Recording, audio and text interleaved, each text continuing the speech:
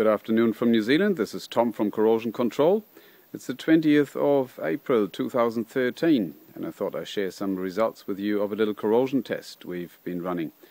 It's a very simple, very straightforward test we did in the workshop. These plates, all identical and just bare raw steel, were sprayed with various products to uh, protect them from corrosion. That was 18 days ago, started just after Easter, and these are the results as per today, if we start down on the left bottom hand corner, this is the lanolin or Lanocote, gone quite rusty and it actually started about four or five days after we sprayed it with uh, salt water twice a day. One further up, the LPS3, held up a little bit better, but it certainly gave way in the meantime. The CRC 66 Marine kept up quite alright until now, but it's getting rusty now. And um, Going one further up to the Corrosion X HD, you can see that there's not a speck of rust on it.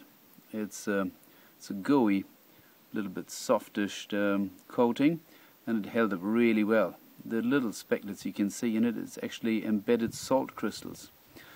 Same goes for the Corrosion X Aviation. There's not a speck of rust on it. It looks like brand new, and it's been sprayed twice a day with salt water um, for the past 18 days. Going over here to the right hand corner is Corrosion X Max Wax. Same result there. There is no rust whatsoever on it. And the coating is actually a, a wax-like, little bit hard coating. Just held up beautifully.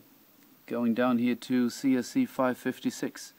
I'm afraid we can't say the same for that. The results speak for themselves. So it does for the LPS2. That's gone rather rusty indeed and the um, WD-40 was probably not made for the salt water either. The water crawled in underneath the coating quite nicely. However, this is what it would have looked like if we wouldn't have been treating it at all. This is bare steel, untreated, after 18 days. So yeah, I suppose the proof was in the pudding. Can't say anything else. Corrosion X was the one which held up best. We catch us later.